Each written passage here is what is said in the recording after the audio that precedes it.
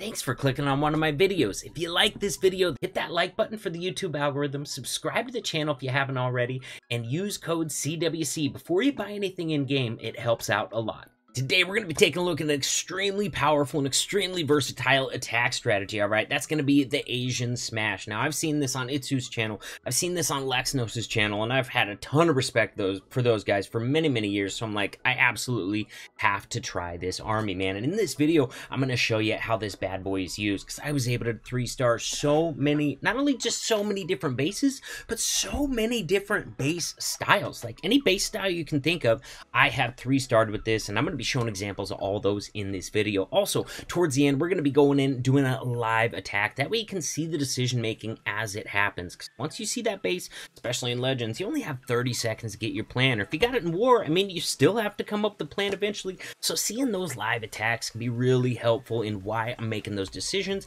on the fly and how to execute during the attack. Now, check this out, man. We're coming in. BK actually pushed into the compartment, which is what I wanted. I was just kind of doing the cross the fingers strategy right there, because let's be honest, I, I, didn't funnel him in there really at all, all right? Um, but look at this. We're trying to get these troops to go into the core where they got to deal with those scatter shots. Plus, we have to keep them moving towards that town hall, all right? Town hall is a big bad defense in these bases, and we got to make sure that we've got enough pathing to get our troops back to it, and we've got just enough for that. Now, on the back, when you're when you're coming up to the back town hall on the backside of a base, it could be risky for sure. But one thing you got to remember is if you're hit, not hitting the town hall or the backside of the base, you're not going to be able to save your Grand Warden ability for that, all right? We had two scatter shots in the core uh, with presumably a bunch of giant bombs, which were absolutely there. So we had to use that Grand Warden ability sooner on this. If we would have tried to save it for the town hall, there would have been nothing left to save with that Grand Warden ability. So keep that in mind. If you hit that town hall early, by all means, use that Grand Warden ability for that Town Hall, damage that Town Hall blast, but if you're coming upon it late in the base, you can't generally afford to save it that long. Now, look at this Royal Champion, man. She's doing some good things. Now, she's got two point defenses back here, so that's where I'm going to choose to play this freeze. Otherwise, that cannon and that archer tower would have made short work of her with no ability left. Now, that is going to leave a multi-target Inferno up, but let's be honest, man. Multi-target Inferno just really doesn't stand much of a threat to a Queen when she still has healers left. Sure enough, Queen's going to be able to take it out. Don't forget cleanup. If you saw my army composition, I got like two wizards and one or two minions in the comp. That is for cleanup towards the end of the base. Right behind the royal champion, drop the cleanup. You're gonna triple a lot of bases. Let's check out the next one. In this video, we're gonna be covering a number of different base types. As you can see, last one was like an anti three star design. This is an anti two star. This is a straight up ring base. So we're gonna try and drop that blimp right on top of that scatter shot, but we want those Yeti mites to go get this air defense as well. We're trying to get this funnel created. Now we're dropping a wizard to try and finish off the funneling there. Boom! And just like that, we've got the queen funnel. This trail of buildings over to the right is going to make sure she goes that way. We got a billion skellies coming up my queen, both from the air and the ground. That poison spell is an absolute must to deal with those. So we got that entire group poisoned, and they're going to die just like that. Now, as far as the other side, we want to kind of cut in this corner right here with the Barbarian King. So we're going to drop a few wall breakers, but they got small bombs, so I'm going to have to commit a couple more wall breakers for it. Now that only leaves me with four wall breakers for my next center wall break, so I'm going to have to wait until I have a little bit of tanking from some of those P.E.K.K.A.s in there before I drop those wall breakers, because six will get the wall break even if they die.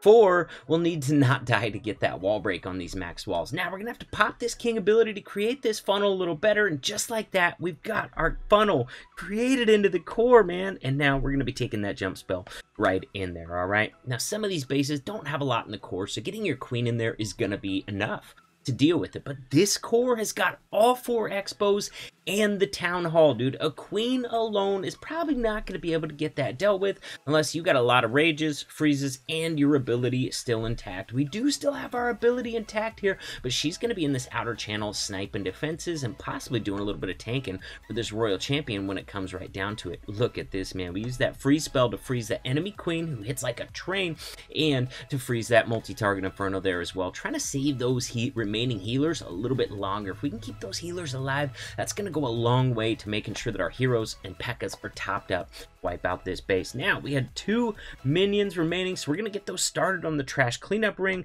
while these heroes are looking to finish off the rest of this base. Now, I got to play this Royal Champion ability smart to try and get some early damage in on that single target Inferno. And luckily, King is out in front of my RC, so he's going to be tanking it anyways. RC is going to get the single kill, and ladies and gentlemen, we got a ring base taken down by the Asians Asian Smash. Now, I told you guys there was a bunch of different base styles that this works on, and we've got the third ba different base style in just three replays right here, man. I'm going to try and take out this multi-target Inferno compartment, because that's going to create a really nice funnel for me. If, if they can get the RC kill, great. If not, it would be should be so low on health, my Queen would be able to finish it off just fine. And now that those defenses are gone, my Wizard's able to complete the funnel for my queen over here. And got another wizard out there just to make sure queen doesn't wander too far up that direction. That does mean I've only got two minions for cleanup now.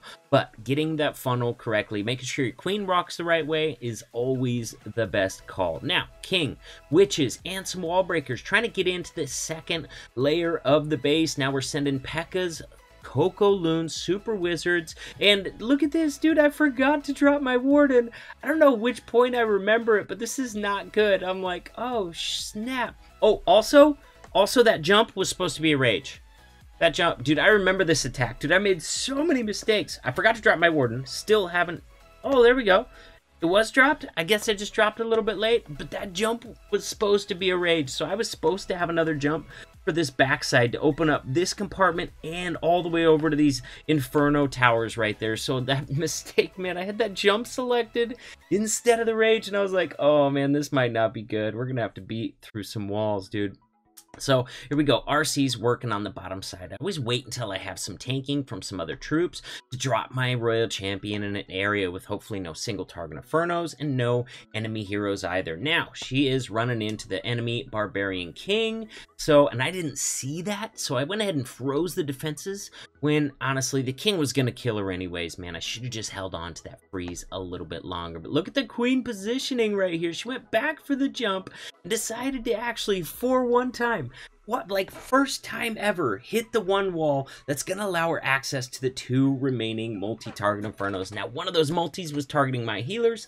That's why I froze that one, and just like that, man. Uh, you know, uh, kind of a disaster of an attack. I made some big mistakes on this one and still got the triple. Dude, look at this funky base, man. This is one of the ring bases that I was talking about that really just has the town hall in the middle. But you know what? On bases like this, it it's kind of easy to make a funnel, man. They got that stuff pushed so far out on the edges you really only have to funnel the outer edges and then boom, you've, you've got your funnel. So I decided to use that Yeti Bomb there to go ahead and get rid of this scatter shot. Now the Queen Walk is going to be starting from this direction and moving towards this center. Now BK is going to come down with his witches to try and funnel all this crap out here, man. As much of that crap as possible. And then I'm going to leave up the stuff in here. This is going to be my entry for my smash. Now, we got that enemy BK on my queen, so I'm going to have to invest a spell to get him dealt with.